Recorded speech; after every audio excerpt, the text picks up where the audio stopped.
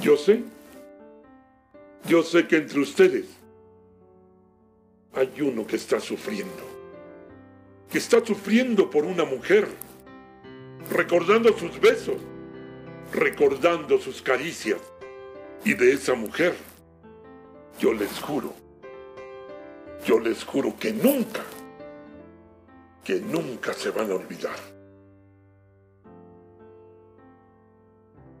Amigos y amigas, les habla Agustín Bernal para invitarlos a la presentación de mi monólogo. El rojo de tus labios lo llevo en mi sangre. Lo voy a presentar en el Teatro Coyacanense a las 7 de la noche del 19 de octubre. Ahí los espero.